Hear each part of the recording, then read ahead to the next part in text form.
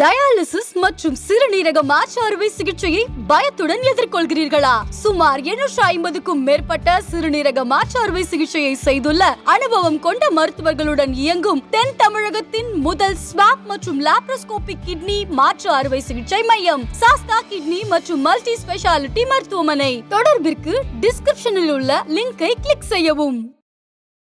ஈரோடு கிழக்கு இடைத்தேர்தலுக்கு முன்பாக திரு எடப்பாடி பழனிசாமி அவர்களை சுற்றி கட்டமைக்கப்பட்ட அந்த பிம்பம் வந்து உடைபட்டிருக்கிறது என்றுதான் நான் கருதுகிறேன்.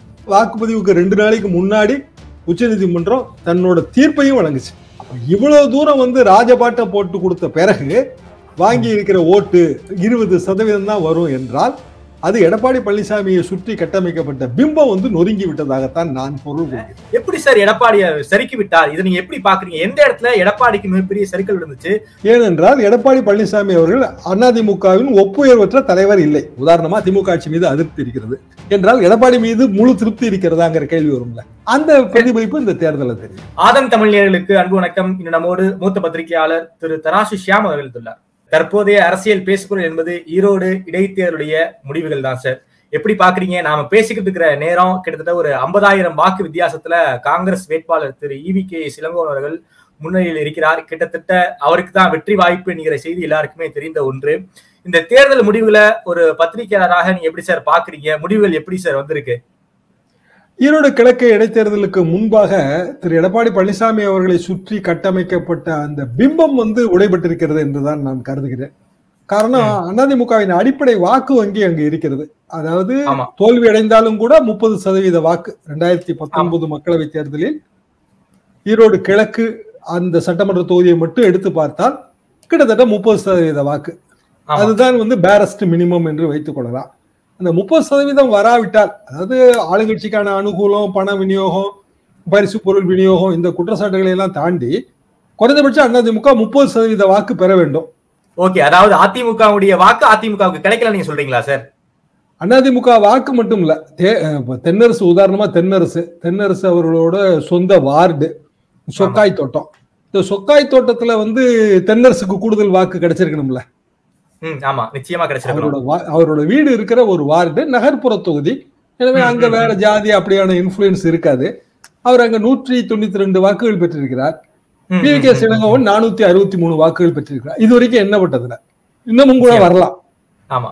எதுக்காக நான் சொல்ல வரேன்னா ஒரு இடைத்தேர்தல் இடைத்தேர்தல் முடிவு பொது தேர்தலில் பிரதிபலிக்காது. எத்தனையோ நம்ம இடைத்தேர்தல் நம்ம பார்த்திருக்கோம் இடைத்தேர்தலில் ஜெயலலிதா அவர்களே தோற்று போயிருக்கிறார் பெண்ணாகரத்துல வந்து மூன்றாவது இடத்துக்கு போச்சு அதிமுக. அதையும் நம்ம பார்த்திருக்கிறோம். ஆனால் இடைத்தேர்தலுக்கு முன்பாக செய்யப்பட்ட சில ஏற்பாடுகள். உதாரணமா ரெட்டை இலை. ரெட்டை இலைக்கான வழக்கு தாவா நடந்துகிட்டு இருக்கு. உச்சநீதிமன்றம் தலையிட்டு தேர்தல் ஆணையத்தோட வேலையை எடுத்துக்கிடுச்சு. சின்ன வழக்கு வந்து தேர்தல் ஆணையத்தோட வேலை. தேர்தல் நடத்தும் அதிகாரி ஏ ஃபார்ம் பி ஃபார்ம் வச்சு அவர் அவர் கொடுக்கணும். தேர்தல் ஆணையமே அப்படியான ஒரு அபிடவிட்ட சத்தியபிரமாண வாக்குமூலத்தை உச்சநீதிமன்றத்துல போடுது. ம், ஆனாலும் உச்சநீதிமன்றம் சிறப்பு ஏற்பாடு செய்து ரிட்டைலை சின்னம் பொதுக்குழு தேர்ந்தெடுக்கும் வேட்பாளர். இது நான் கேள்விப்பட்டதே இல்லை. காரணம் ஒரு வேட்பாளரை பொதுக்குழு எப்பவுமே தேர்ந்தெடுக்காது. தேர்ந்தெடுக்க முடியாது. வேட்பாளரை தேர்வுக்குழு தேர்வுக்குழு தானே தேர்ந்தெடுக்க முடியும். ஒரு கட்சியில. பொதுக்குழுங்கிறது ஆயிரக்கணக்கான உறுப்பினர்கள் இருப்பாங்க. அவங்க எப்படி வேட்பாளரை தேர்ந்தெடுக்க முடியும்? சரி எப்படி தேர்ந்தெடுக்கிறீர்கள் என்ற கேள்விக்கு பை சர்க்குலேஷன் என்று உச்சநீதிமன்றமே பதில் சொன்னது. அதாவது ஓட்டெல்லாம் போட வேண்டாம். ஒரு சுற்றறிக்கை அனுப்பினாலே போதும். இப்படியெல்லாம் வசதிகள் செய்து தரப்பட்டன. அதனாலதான் இந்த தோல்வி வந்து பெரிய தோல்வியா தெரியுது. இடைத்தேர்தல் தோல்வி என்பது பெரிதே அல்ல. இடைத்தேர்தல் தோல்வியிலிருந்து எத்தனையோ கட்சிகள் மீண்டு வந்திருக்கின்றன. திமுகவும் சரி அண்ணா திமுகவும் சரி திமுகவே ஆர்கே நகர்ல டெபாசிட் பறி போனதுதான் உண்மைதான். மீண்டு வந்து இப்ப ஆட்சியில் இருக்காங்க. ஆனால் இந்த இடைத்தேர்தலுக்காக டெல்லியிலிருந்து செய்யப்பட்ட சிறப்பு ஏற்பாடுகள். இந்த சிறப்பு ஏற்பாடுகள்ல எடப்பாடி பழனிசாமி அவர்களுக்கு போட்டி வேட்பாளர் கிடையாது. உட்கட்சி பிரச்சனையையும் தற்காலிகமாக தீர்த்து வைத்தது. எல்லாவற்றுக்கும் மேலாக வாக்குப்பதிவுக்கு ரெண்டு நாளைக்கு முன்னாடி உச்சநீதிமன்றம் தன்னோட தீர்ப்பையும் வழங்குச்சு. ஆமா. அப்ப இவ்வளவு தூரம் வந்து ராஜபாட்டை போட்டு கொடுத்த பிறகு வாங்கி இருக்கிற ஓட்டு இருபது சதவீதம் தான் வரும் என்றால் அது எடப்பாடி பழனிசாமியை சுற்றி கட்டமைக்கப்பட்ட பிம்பம் வந்து நொறுங்கி விட்டதாகத்தான் நான் பொருள் கொள்கிறேன். ஓகே சார் அதாவது அதிமுகவுக்கு முப்பது சதவீத ஓட்டு கிடைக்கணும். அந்த இடத்துல இருபது சதவீத ஓட்டு தான் கிடைச்சிருக்கு. ஏகப்பட்ட அனுகூலங்கள் அதிமுகவுக்கு கிடைச்சிருக்கு. டிடிவி வேட்பாளரை வாபஸ் வாங்கிவிட்டார். ஓபிஎஸ் வேட்பாளரை வாங்கி வாபஸ் வாங்கிவிட்டார். எடப்பாடிக்கு எதிராக எந்த ஒரு எதிர்பிம்பமும் கிடையாது. அப்படி இருக்கும் சூழல்ல எப்படி சார் எடப்பாடியை சறுக்கி விட்டார்? இதை நீங்க எப்படி பாக்குறீங்க எந்த இடத்துல எடப்பாடிக்கு மிகப்பெரிய சறுக்கல் இருந்துச்சு மக்கள் மத்தியில திமுகவுக்கு எதிராக மனதில் இருப்பதாக செய்திகள் நமக்கு வந்துகிட்டு இருக்கு. அதை ஒழுங்கா கேபிட்டலைஸ் பண்ணிருக்கலாங்கிற ஒரு வாதம் வைக்கப்படுது. அதை எடப்பாடி பண்ணலையா? ஏ அதி அதிமுகவுக்கு இவ்வளவு பெரிய சரிவு கிடைச்சிருக்கு சார். நீங்க எப்படி சார் பாக்குறீங்க? ஏனென்றால் எடப்பாடி பழனிசாமி அவர்கள் அதிமுகவின் ஒப்புயர்வற்ற தலைவர் இல்லை. இதிலிருந்து நாம் தெரிந்து கொள்கிற உண்மை என்னவென்றால் ஒப்பாரும் மிக்காரும் இல்லாத தலைவர்கள் ஒரு கட்சிக்கு தேவை. எந்த கட்சியாக. இருந்தாலும். அப்படியான ஒரு தலைமைத்துவம் வந்து அவரிடம் இல்லை. அப்படியானால் எப்படி இந்த பிம்பம் ஏற்பட்டது? எப்படி ஏற்பட்டது என்றால் ரெண்டாயிரத்தி இருபத்தி ஒன்று சட்டமன்ற தேர்தலில் மேற்கு மண்டலத்திலே கிடைத்த. அல்லது வெற்றி பெற்ற வேட்பாளர்கள். ஆமா. அந்த வெற்றி முழுவதுமே எடப்பாடி பழனிசாமிக்கான சொந்தமான வெற்றியாக பார்க்கப்பட்டது. கிட்டத்தட்ட நாற்பத்தி ரெண்டு எம்எல்ஏக்கள் அப்போ அது எல்லாமே எடப்பாடி பழனிசாமியின் முயற்சி தான் என்றால். அப்ப எடப்பாடி பழனிசாமி முதலமைச்சரா இருந்தார். எடப்பாடி பழனிசாமி சுற்றி அதிகார ஒளிவட்டம் இருந்தது. எடப்பாடி பழனிசாமியை சுற்றி அந்த ஆட்சியில வந்து மிக அதிகாரம் படைத்தவர்களாக இருந்த அமைச்சர்கள் இருந்தாங்க. இப்போ இந்த மாதிரியான அனுகூலம் இல்லைன்னா எடப்பாடி பழனிசாமி அவர்கள் அதிமுகவின் ஒப்புயர்வற்ற தலைவராக நம்ம கொள்ள முடியாது. சரி. இப்போ உதாரணமாக ஒரு குறிப்பிட்ட இனத்தை சேர்ந்தவர் அவரது சொந்த இனத்தை சேர்ந்தவர்கள். அந்த ஓட்டு வங்கி மிகவும் பெரியது. அவர்கள் அனைவருமே வந்து எடப்பாடி பழனிசாமி பின்னால் தான் இருக்கிறார்கள். Is an icon of that community இப்படி ஒரு பிம்பம் அமைக்கப்பட்டது. ஈரோடு கிழக்குல வந்து சரிபாதி கவுண்டர்கள் மீதி முதலியார்கள். முதலியார் இனத்தை சேர்ந்தவர் வந்து நாம் தமிழர் கட்சியின் வேட்பாளர். ஆனால் அப்படியான ஓட்டு பிரதிபலிப்பு அங்க எதுவுமே இல்லை. ஆமா நாம் பெருசா கிடைக்கல ஓட்டு கிடைக்கல. அதாவது கிட்டத்தட்ட நாற்பதாயிரம் அறுபதாயிரம் ஒரு குறிப்பிட்ட ஜாதியை சேர்ந்தவர்களாக இருந்தால் அதிலிருந்து ஒரு இருபது சதவீதம் பதினஞ்சு சதவீதமாக நாம் தமிழர் கிடைக்கணும்ல? நிச்சயமா கிடைச்சிருக்கணும் ஆனா அதுவும் கிடைக்கல உங்களுக்கு அப்படி என்றால் திமுக ஆட்சி மீதான குற்றம் குறைகள். குற்றம் குறைகள். இல்லாமல் இல்லை. வாக்குறுதிகள் வந்து கொடுக்கப்பட்டன. வாக்குறுதிகள் நிறைவேற்றாத வாக்குறுதிகள் இருக்கின்றன.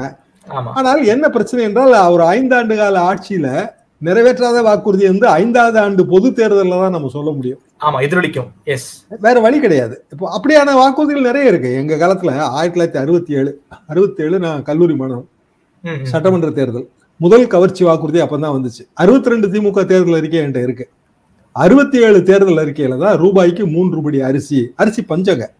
ஹாஸ்டல்ல கல்லூரி ஹாஸ்டல்ல வந்து வாரத்துக்கு ரெண்டு நாள் வந்து அரிசி சாப்பாடு கிடையாது. இரவு. அந்த அளவுக்கு அரிசி பஞ்சம். ஆமா பெரிய பஞ்சம். எல்லாம் பயங்கரமா ரேஷன் கடையில் கியூல நின்று வாங்கணும் அப்போ ரூபாய்க்கு மூன்று ரூபாய் அரிசிங்கும் போது அது மிகப்பெரிய கவர்ச்சி வாக்குறுதியா இருந்துச்சு. போடப்பட்டதா? இல்லை. கடைசியில் அது ஒரு படியா மாறிச்சு. மூன்று படி. லட்சியம் ஒரு படி ஒருபடி நிச்சயம் நிச்சயம். ஒரு படியாவது போட்டாங்களா? இல்ல. நிறைவேற்றாத வாக்குறுதி. ஆனாலும் எழுபத்தி ஒன்று திமுக நூத்தி எண்பத்தி நாலு இடம் பிடிச்சது. திமுக வரலாற்றுல மிகப்பெரிய வெற்றி அது. இன்னைய தேதி வரைக்கும் அந்த வெற்றியை வந்து அவங்க பீட் பண்ண முடியல. உண்மைதான். பீட் பண்ண முடியல. எதற்காக நான் சொல்றேன்னா மக்கள் வந்து பொதுப்படையா தான் பார்ப்பாங்க. நூறு வாக்குறுதிகள் தராங்க. சில வாக்குறுதிகள் நிறைவேற்ற முடியல. சில வாக்குறுதிகள் நிறைவேற்றியிருக்காங்க. சில கொடுக்காத வாக்குறுதிகளை நிறைவேற்றி இருப்பாங்க குற்றம் குறைகள் இருக்கும். ஆனால் எதிரணியில் நிற்பவர்கள் யார்? அவர்களுக்கு என்ன குற்றம் குறை இதையும் சீர்தூக்கி பார்ப்பாங்கல்ல. ஆமா. உதாரணமா திமுக ஆட்சி மீது அதிருப்தி இருக்கிறது. என்றால் எடப்பாடி மீது முழு திருப்தி இருக்கிறதாங்கிற கேள்வி வரும்ல. நிச்சயமா. அந்த பிரதிபலிப்பு இந்த தேர்தலில் தெரியும். ஓகே சார் அதாவது எடப்பாடி மிக அதிமுகவுக்கு மிகப்பெரிய சரிவு கிடைச்சிருக்கு. அவங்க அதிமுக தரப்புல என்ன குற்றச்சாட்டு வைக்கிறாங்கன்னா கிட்டத்தட்ட ஒரு ஓட்டுக்கு வந்து இருபதாயிரம் ஒரு குடும்பத்துக்கு நாற்பதாயிரம் வரைக்கும் செலவு பண்ணிருக்காங்க ஒரு ஓட்டுக்கு எட்டாயிரம் ரூபாய் வரைக்கும் பணம் கொடுத்திருக்காங்க. பிளஸ் பரிசு பொருட்கள். இதனால திமுக வென்றது. இதனாலதான் இவ்வளவு பெரிய மார்ஜின் வருது. அப்படிங்கிற ஒரு குற்றச்சாட்டை அதிமுக வைக்கிறாங்களா சார் அப்படின்னா தென்னரசோட சொந்த வார்டுல வந்து அவர் வெற்றி பெற்றிருக்கணும். ஈரோடு முழு ஈரோடு தொகுதியிலையும் வெற்றி பெறணும்னு அவசியமே இல்லை. சொந்த வார்டு. அதாவது ஒரு வார்டு. கவுன்சிலர் ஆயிருக்கணும்ல அவர். ஆமா ஆமா. நகர்ப்புற உள்ளாட்சி அதாவதுங்க இது முதல்ல இருந்தே சொல்லிட்டே வரேன். ரெண்டாயிரத்தி பத்தொன்பது தேர்தலுக்கு பிறகு ரெண்டாயிரத்தி இருபத்தி ஒன்று தேர்தல். ரெண்டாயிரத்தி இருபத்தி ஒன்று தேர்தலுக்கு பிறகு நகர்ப்புற உள்ளாட்சி தேர்தல். உள்ளாட்சி தேர்தல். நகர்ப்புற உள்ளாட்சி தேர்தல்ல முப்பத்தி மூணு வார்டு ஈரோடு கிழக்கு தொகுதி. அதுல எத்தனை வார்டுல அதிமுக ஜெயிச்சது? ரெண்டு பேரும் ஒன்னா தானே இருந்தாங்க அப்போ. இந்த உட்கட்சி பிரச்சனையே கிடையாது. கிடையாது. அப்பவும் இல்ல. சரி சரி. அப்பவும் இதே வாதம் தான் அதாவது திமுக வந்து வாக்குறுதிகளை நிறைவேற்றவில்லை. ரெண்டாயிரத்தி. அவங்க ஆட்சிக்கு வந்து ஒரு ஆறு ஏழு மாதம் ஆயிருந்தது. வாக்குறுதிகளை நிறைவேற்றவில்லை. அப்போ அதே வாதத்துக்கு எதிர்வாதம் என்ன வைக்கப்பட்டது என்றால் நாங்க இப்பதான் ஆட்சிக்கு வந்திருக்கிறோம். இன்னென்ன வாக்குறுதிகள் நிறைவேற்றியிருக்கோம். இன்னும் ஒரு ஒரு ஆண்டில வந்து இந்த வாக்குறுதியை நிறைவேற்றுவோம். இப்படிதான் அவங்க பதில் சொன்னாங்க. Okay okay. அப்போ இந்த தேர்தல் எதுக்கு உரைகள்னா ரெண்டு ரெண்டு விஷயத்துக்கு உரைகள்ங்க. ஒண்ணு இந்து ஓட்டு வங்கின்னு ஒண்ணு இருக்கு. ஓகே. பாரதிய ஜனதா வந்து வளர்ந்திருக்கு. இந்து ஓட்டு வங்கி உருவாகியிருக்கு அந்த இந்து ஓட்டு வங்கி வந்து முழுமையாக அறுவடை செய்யப்படும். அதிமுகவுக்கு போய் சேரும் என்றால் பாரதிய ஜனதா பத்து சதவீதம் வளர்ந்ததா வச்சா இருபதாயிரம் ஓட்டு இந்து ஓட்டு வங்கி வந்திருக்கணும்ல. கிட்டத்தட்ட ரெண்டு லட்சம் ஓட்டு வருதுல்ல. அப்ப இந்த இருபதாயிரம் ஓட்டு வந்து அதிமுகவுக்கு பிளஸ் ஆயிருக்கணுமே அதுவுமே கிடைக்கல உங்களுக்கு வரல. அண்ணாமலை தானே முதல் முதல்ல தேர்தல் பணிக்குழு போட்டாரு? ஆமா. அண்ணாமலை தானே வந்து திமுகவுக்கு மாற்று நாங்கள்னு சொன்னாரு. நாங்க தான் அடுத்த அடுத்த ஆட்சி எங்களுதுன்னு சொன்னாரு. ஆமா. நான் தான் ஒரு கட்சி வளர வேண்டும் அந்த தலைவர் வளர வேண்டும் இளைய தலைவர் அவர் வந்து ஒரு பெரிய பேக்ரவுண்ட்ல இருந்து வராரு முன்னாள் ஐபிஎஸ் ஆபீசர் அது எல்லாமே சரிதான். ஆனால் தமிழ்நாட்டின் அரசியல் தட்பவெட்பம் என்பது வேறு. இங்கு இந்து ஓட்டு வங்கியை உருவாக்க முயற்சிப்பது ஒரு ஜரிகை கனவு. சாத்தியமே இல்லை. அதாவது இந்து ஓட்டு வங்கிங்கிறது ஒண்ணு ஒண்ணு இல்லவே இல்லைன்னு சொல்ல வரீங்களா சார்? உருவாக்க முடியாது. இது எங்க கல்லூரி காலத்துல இருந்து நான் பாக்குறாங்க. அப்ப ஜனசங்கத்துக்கு ஜனசங்கத்துக்கு முன்னாடி.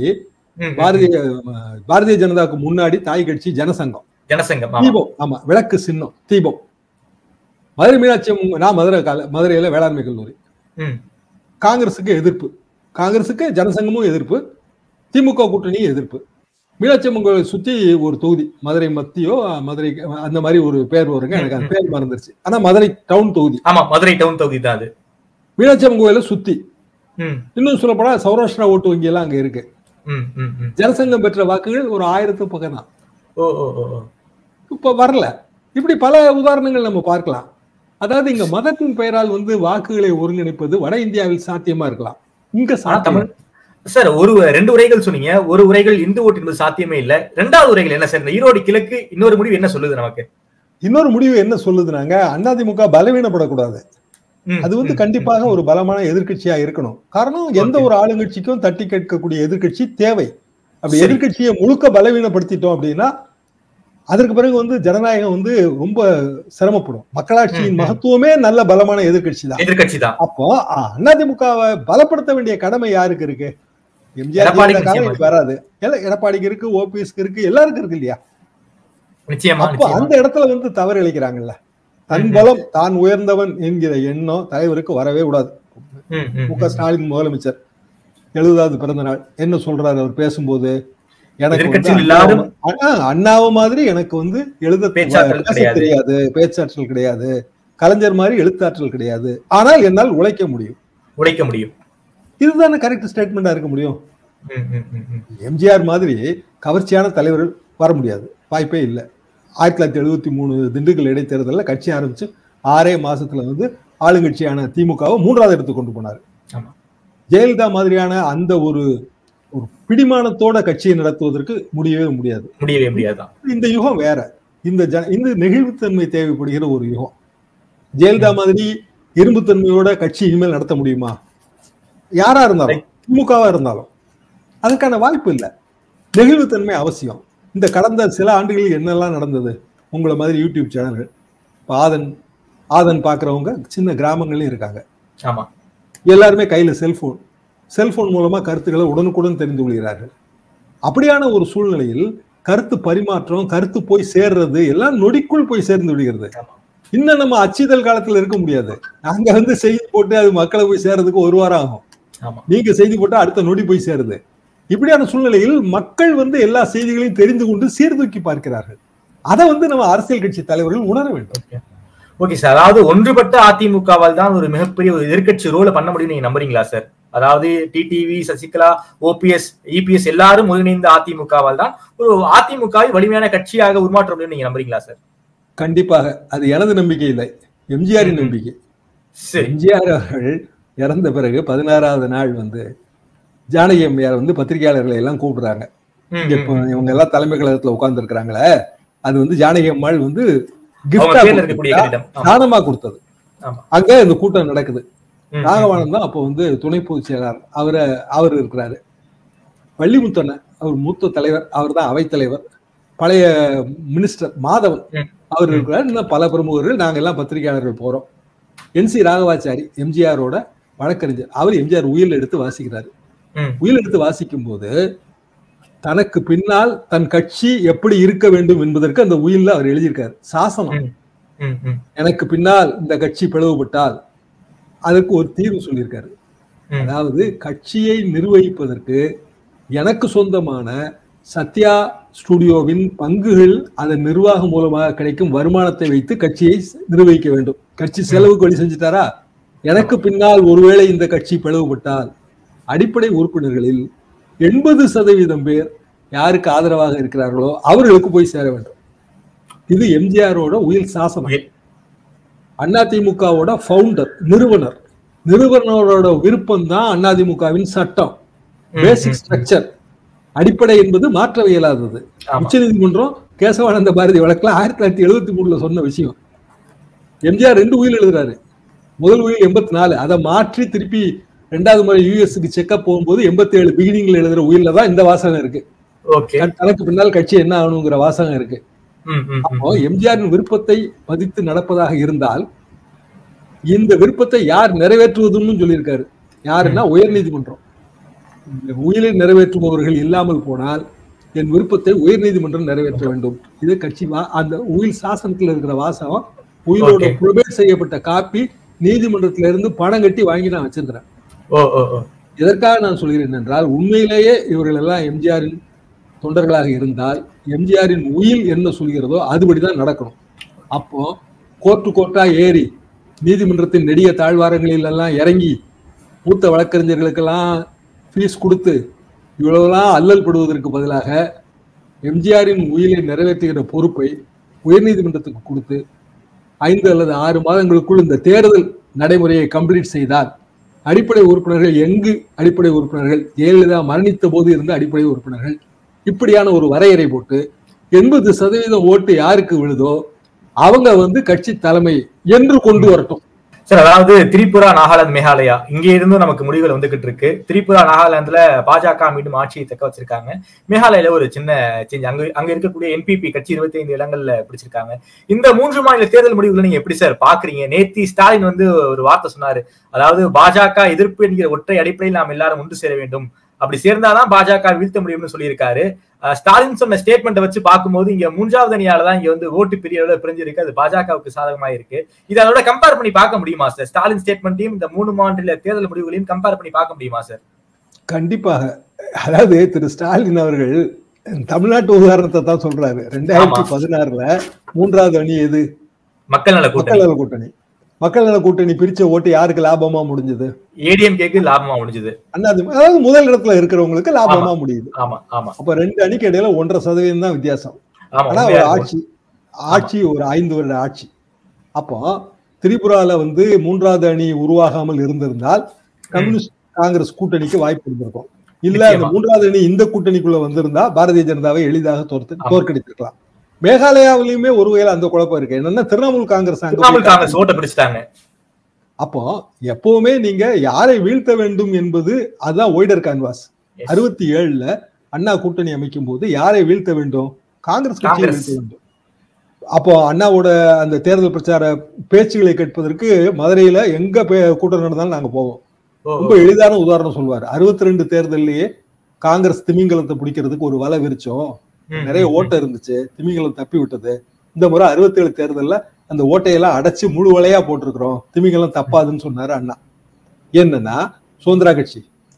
நாம் தமிழர். அதாவது அந்த காலத்து நாம் தமிழர். நாம் தமிழர். மாப்போசியோட தமிழ் தேசிய கட்சி. தமிழ் தேசிய கழகம். காகிதம் இல்லதைய அதாவது திமுகவோட நிரந்தர கூட்டாளி தான். பெர்மனண்டா வந்து திமுக கூட்டணியில எப்பவுமே வந்து முஸ்லீம் லீக் இருக்கத்தான் செய்யும். இருப்பாங்க. மற்றவர்கள் வருவது கடினம். காரணம் இடதுசாரிகள் இருக்காங்க. இடதுசாரிகளுக்கும் இவங்களுக்கும் ஜெல்லாவாது ஆனாலும் அந்த கூட்டணி வந்து ஒற்றை நோக்கத்தோடு உருவாக்கப்பட்டது. அப்படி ஒற்றை. நோக்கத்தோடு உருவானால் பாரதிய ஜனதாவை வீழ்த்த வேண்டும் என்று உருவானால் அது. சாத்தியம். ஆனால் மூன்றாவது அணி என்று சொன்னால் அது கரை சேராது. அது கரை சேராதுங்கிறத தான் முதலமைச்சர் சொல்றாரு. அது அவரோட சொந்த அனுபவம் கூட. சார் நீங்க ஒரு வார்த்தை நம்ம லாஸ்ட் இன்டர்வியூல கூட சொன்னீங்க. அதாவது பிரதமர் வேட்பாளர் யார் என்பதை பின்னால நாம வந்து முடிவு செஞ்சுக்கலாம். இப்போதைக்கு நம்ம மினிமம் அடிப்படையில் எல்லாரும் ஒண்ணு சேரணும். நீங்க என்ன சொன்னீங்களோ அதே வார்த்தையை தான் முதல்வர் மு க ஸ்டாலின் நேத்தி பேசியிருந்தாங்க. யார் பிரதமர் வேட்பாளர் என்பதை நான் வந்து பின்னாடி முடிவு செய்யலாம். பின்னாடி முடிவு செஞ்சுக்கலாம். யார் ஆட்சிக்கு வர வேண்டும் என்பது முக்கியம் இல்லை. யார் வீட்டுக்கு போகணுங்கிறதா இந்த எலெக்ஷன்ல முக்கியம். மூன்றாவது அணி என்கிற பேச்சுக்கு இடமே கிடையாது. காங்கிரஸ் இல்லாத கூட்டணி கரை சேராது ரொம்ப அழுத்தம் திருத்தமாக ஒரு ஆழமான பேச்சை வந்து நேத்தி பேசியிருக்காரு. ஒரு பத்திரிகையாளராக நேத்தி ஸ்டாலின் அவர்களுடைய பேச்சை நீங்க எப்படி சார் பாக்குறீங்க? அதுதான் சரியான கருத்துங்க. இது வந்து ரெண்டாயிரத்தி நாலு உதாரணமும் கூட. ரெண்டாயிரத்தி நாலு ஸ்டாலின் அவர்களின் தந்தையார் கலைஞர் காங்கிரஸோடு கூட்டணி வாஜ்பாய் பிரதமர் வேட்பாளர். வாஜ்பாய்க்கு பதிலா மாற்று பிரதமர் வேட்பாளர்லாம் அவங்க வைக்கவே இல்லை. வைக்கவே இல்லை. வாஜ்பாய் பிரதமராக வேண்டுமா? வாஜ்பாய் வந்து பிரதமராக கூடாதா? ரெண்டே கேள்விதான் வாஜ்பாய் வந்து மோடியை விட கூட மிகப்பெரிய தலைவர். கார்கில் போரோட கதாநாயகன். ஆனாலும் கூட வாஜ்பாய் அவர்கள் அதிகபட்சமாக வந்து ஒற்றை தனி ஒற்றை கட்சியாக வர முடிந்தது. அதாவது சிங்கிள் பார்ட்டியாக வர முடிந்தது. அப்போ மிக எளிதாக மற்றவர்கள் ஒன்றாக சேர்ந்தார்கள். அது கூட தேர்தலுக்கு பிந்தைய கூட்டணி. மன்மோகன் சிங் வந்து திடீர்னு எதிர்பாராம வந்த பிரைம் மினிஸ்டர் தானே. கண்டிப்பா. அதுல என்ன சந்தேகம்? ஐந்து ஐந்து பத்து வருடம் ஆட்சி நடந்தது அந்த ஆட்சி. இப்ப என்ன சொல்றாரு முதலமைச்சர்? தேர்தலுக்கு பிந்தைய கூட்டணி வேண்டாம். தேர்தலுக்கு முன்னாடியே நம்ம இணைவோம்னு சொல்றாரு. என்ன காரணம்னா இப்ப டாக்டரின் மாறி இருக்கு. ஆமா. முதல்ல ஆட்சி அமைக்க அழைக்க போவது யார்? இந்த கேள்வி எப்பவுமே வந்துரும். ஏற்கனவே தொண்ணூத்தாறுல வந்து சிங்கிள் பார்ட்டி தான். யாருக்கு அதிகமான இடம் இருக்கோ அவங்களுக்கு தான் முதல்ல ஆட்சி அமைக்க உரிமை. இது சங்கர் தயாள் சர்மாவோட டாக்டர். அதுக்கு பிறகு அந்த டாக்டர் கே ஆர் நாராயணன் காலத்துல மாறுச்சு. ஆனா இப்ப இவங்க ஜனாதிபதி முர்மு அவர்கள் அவர்கள் என்ன முடிவு வேணாலும் எடுக்கலாம். அப்போ. வந்து பாரதிய ஜனதா இருநூறு இருநூத்தி இருபத்தி ஐந்து இடங்கள் பிடித்தால் முதல்ல அவங்கள ஆட்சி அமைக்க அழைத்தால் அது வந்து சிக்கல்ல கொண்டு போய் முடியும். எனவேதான் தேர்தலுக்கு பிந்தைய கூட்டணி என்று பார்க்க வேண்டாம். தேர்தலுக்கு. முந்தைய கூட்டணியாக இருக்கட்டும். இதுதான் சரியான கருத்து. சரி. அதாவது எதிர்க்கட்சிகள் ஒன்றாக சேர்ந்தாதான் நாம பிஜேபி வீழ்த்த முடியும் ஸ்டாலின் உறுதியா இருக்காரு. திரிபுராவுல சிபிஎம்மும் காங்கிரஸும் ஒரே கூட்டணியில இருக்காங்க. ஆனா கேரளாவுல இது சாத்தியமாங்கிற ஒரு கேள்வி இருக்குல்ல சார்? கேரளாவுல இது எப்படி சார் சாத்தியமாகும்? கேரளால சாத்தியம் இல்ல. கேரளால காங்கிரஸ் கட்சி என்ன எத்தனை இடம் பெற்றாலும் கம்யூனிஸ்ட் கட்சி எத்தனை இடம் பெற்றாலும் அத்தனையும் பாரதிய ஜனதா எதிர்ப்பிடம் தானே. Okay okay. பல இடங்கள் அப்படியும் வரத்தான் செய்யும். அதாவது இதுல வந்து நெகிழ்வுத்தன்மையோட அடுத்த கட்ட அரசியல் வியூகம் அமையணும். நெகிழ்வுத்தன்மை யாருக்கெல்லாம் அவசியம்? காங்கிரஸ் கட்சிக்கும் அவசியம் மாநில கட்சிகளுக்கும் அவசியம். அவசியம் ஆமா. இப்ப உதாரணமா ஈரோடு கிழக்கே எடுத்துக்கோமே. இவ்வளவு முயற்சிகள் செஞ்சுட்டு திமுக நின்றுக்கலாமே இருக்கலாம் இது ரொம்ப எளிது தானே அது. காங்கிரஸ் கட்சி இன்னும் சொல்ல போனா இவிகேஎஸ் வந்து அவர் ஒன்றும் ஆர்வமே காட்டல. ஆமா. தமாகாவுக்கு விட்டு கொடுத்த இடம் தானே அது. ஏன் அதிமுக வந்து தமாகா இருந்து பறிச்சு நின்னுது? ஏன்னா வந்து டெல்லி வந்து சப்போர்ட் பண்ணுச்சு. இவர் வந்து திமுக வீழ்த்தி விடுவார். ரெட்டையில சின்னம் உலகத்திலே இல்லாத விஷயம். தீர்ப்பு நிலுவையில் இருக்கும்போது இடைக்கால ஏற்பாடு அதுக்கு இடையீட்டு மனு ரெட்டை இரட்டையில வழங்கப்பட்டது. வாக்குப்பதிவுக்கு ரெண்டு தினம் முன்பாக தீர்ப்பும் வழங்கப்பட்டது. அப்ப டெல்லி இவ்வளவு உதவிகள் எல்லாம் செய்து ராஜபாட்டையெல்லாம் போட்டு கொடுத்த பிறகு ஓட்டு விகிதாச்சாரம் என்பது முப்பது சதவீதம் வரலையே என்பதுதான் இதில். இருக்கிற குறைபாடு. சார் இந்த எனக்கு இன்னொரு கேள்வி இருக்கு சார். அந்த கேள்வி உங்களுக்கு அமைச்சரா கூட படலாம். இந்த ஈரோடு இடைத்தேர்தல் முடிவு என்பது டுவெண்ட்டி ஃபோர் நாடாளுமன்ற தேர்தல் எதிரொலிக்கு நீங்க பாக்குறீங்களா? ரொம்ப முன்னாடியே கேட்கறவங்க கிட்ட நீங்க எப்படி சார் பாக்குறீங்க? இல்ல பொதுவாக நம்ம அப்படி எடுத்துக்கூடாது அதாவது இடைத்தேர்தல் முடிவு தான் அப்படி பிரதிபலிக்கும் என்று நான் எந்த. காலத்திலும் எடுத்துக்கவே மாட்டேன். ஆனால் இடைத்தேர்தல் முடிவை வைத்து வியூகங்கள் அமைக்கலாம். அது வந்து ஒரு டெஸ்ட் மாதிரி ஒரு சாம்பிள் மாதிரி. இப்ப நம்ம சர்வே எடுக்கிறோம். சர்வே. எடுக்கும்போது எல்லா வாக்காளர்களையும் சந்திச்சு நம்ம கேள்வி கேட்க முடியாது. கிடையாது. ஒரு ரெண்டாயிரம் ஏதோ ஒரு ரேண்டம் சாம்பிளிங் தான். ஆமா. இருநூத்தி முப்பத்தி நாலு தொகுதிக்கும் ஒரு ரேண்டம் சாம்பிளிங்கா ஈரோடு. கிழக்கு எடுத்தால் வாக்காளர்கள் மனநிலை என்பதை அந்த சாம்பிளில் அனலைஸ் செய்வதை விட வியூகம் எப்படி அமைக்க வேண்டும் என்கிற அனாலிசிஸ் பொருத்தமா இருக்கும். ஓகே ஆனா மக்கள் மத்தியில பாஜக எதிர்ப்பு இருக்குன்னு பாக்கீங்களா சார் ஈரோடு கண்டிப்பா. ஈரோடு வந்து அது கொஞ்சம் ஒரு ஒரு பெரியாருக்கு பெரியார் சிலைக்கு அவமரியாதையெல்லாம் செஞ்சுட்டு பாரதிய ஜனதா ஓட்டு அங்க வர முடியாதுங்க. ஆனால் இதே தேர்தல் தென்மண்டலத்தில் நடந்திருந்தாலும் இந்த நிலைமை தான் வந்திருக்கும். சார் ரொம்ப நன்றி சார் ஈரோடு கிழக்குல ஆரம்பிச்சு தமிழ் இந்திய அரசியல் வரைக்கும் ரொம்ப விரிவா பேசியிருக்கீங்க. சில முக்கியமான நொட்டேஷன்களை ரொம்ப எக்ஸ்க்ளூசிவா சொல்லியிருக்கீங்க. ரொம்ப நன்றி சார் நேரம் கொடுத்து பேசுவது ரொம்ப நன்றி சார் நன்றி சார்